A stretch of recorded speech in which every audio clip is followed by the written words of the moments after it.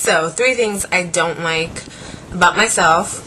And it's not like really serious or anything like that, but you know, just those things that you kind of like um, hoped were different or you know weren't there. But okay, one thing I would have to say is my nose. I've always felt like my nose is slightly crooked, like from the tip of my nose. Of I think it's like tilted, crooked to my right.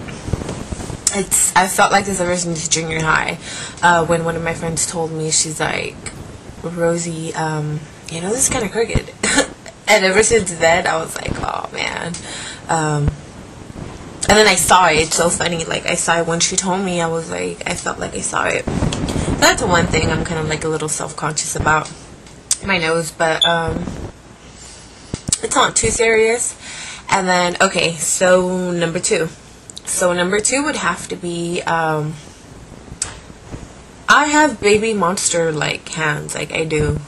Like I don't really dig my hands too much. Um, and the crazy thing about it is that I've been told um, that I have nice hands, but I really, it's like I feel like I have, my hands are really tiny, and then I feel like they're like big, you know, like fat, ugly, um, monster hands. I don't know if you can see here. But yeah, I think they're like really big, my fingers. And um, I don't know, I don't really like my hands too much. I've always been um, whatever. But um, so and the third thing that I would say is my forehead. I've always felt like I've had a big forehead. Um, my sister has like um, a much tinier forehead. It's not this big, I feel like. And then you can totally really see it when you do, like, you know, when it's hot, sometimes you just have to put your hair up. You know, like females that have long hair, um, you just have to put your hair up. But again, all these things are not that serious, but it's just things that, you know, kind of, you know, give you a little, um, you know, kind of make you a little self-conscious, but it's not that big. Now, so three things that I would say that, you know, I pretty, I like about myself would be, okay, one. Um, my skin. I like my skin.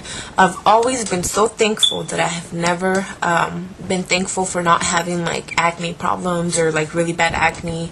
Um, I think that would like really suck and it would um, it would really suck. But I've never had problems with my skin. My my mom, she um, she she's she has skin like mine. Like I've never really I've never had like pimples. I've never had pimples.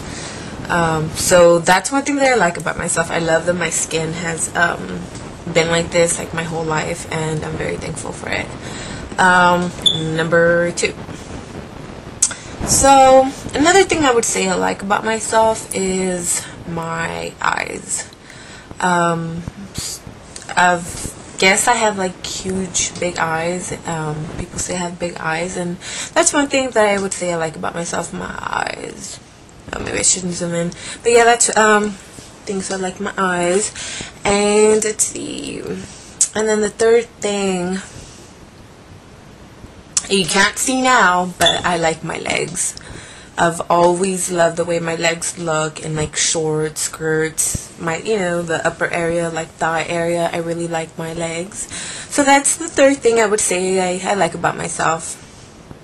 So yeah, that's pretty much it, you guys. Um, so that's it. I'm done. I'm done with this video. Got it over with. Um, it's like my first video that I, um, my first videos I make like this, so it was pretty cool. So, um, come on, don't be screwed. Make your video. Um, these were pretty cool to watch. So, I'll catch you on the next one. Toodles.